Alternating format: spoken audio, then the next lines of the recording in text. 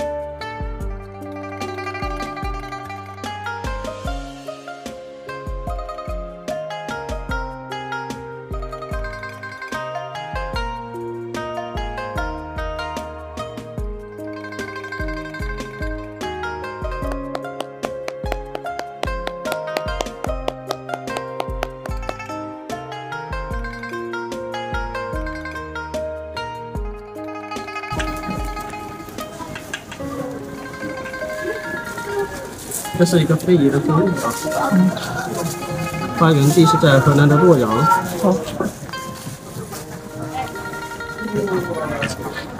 当时是在东汉末年的时候呢，我们知道一个叫蔡邕的，他是书法家，他也算是个半个政治家，还是个文学家。呃，他写了这个写的那个儒家经典在那个石碑上。据说当时写了有四十九块石碑，一块石碑每块石碑的高度是三米，宽的话是一米左右。四十九块当时写完之后，找了找了刻把它刻在刻在这个石碑上，然后这四十九块石碑立在了今天的河南偃师那边，立在那边。后来全国的那些读书人就去看，看了之后发现了，就在那边特别麻烦。那怎么办呢？于是呢，当时的人就发明了这项技术，把纸附在石碑上，然后用传踏的方式把它踏出来，踏出来之后就可以不断的流传开来。你这个叫全踏是吧？对，传踏。在传踏的基础之上，就发明了我们的印刷术。嗯。所以这个技术呢，它对中华文明的这种帮助和影响是非常的深远。因为有这项技术，所以呢，有了四大发明的印刷术。印刷术出现之后呢，那我们各种各样的书籍就能不断的印刷，对吧？对读书人来说，对整个民族的文化的这种传承影响是非常深远的。在这个基基础基础上，又发明了船形踏。船形踏它就是把一个物体拓的是完全立体的效果，就像我们现在看的那种照相机一样，就照相术一样。所以我当时写了一篇文章，介绍这个介绍传统两千年前的照相术。我跟你一样吗？呃，在它的发源地在河南洛阳。河南，河南省。我们当时就是去那边带的师傅。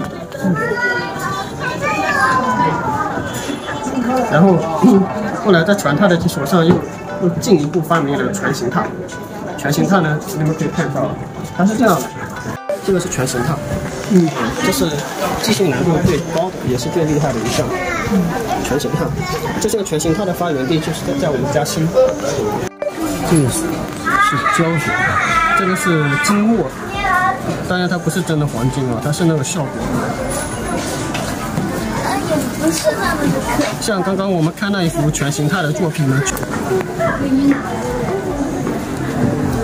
轻轻的，对，轻轻的，尽量的要清晰。其实只要有一些凹凸的，都是可以这样踏出来的。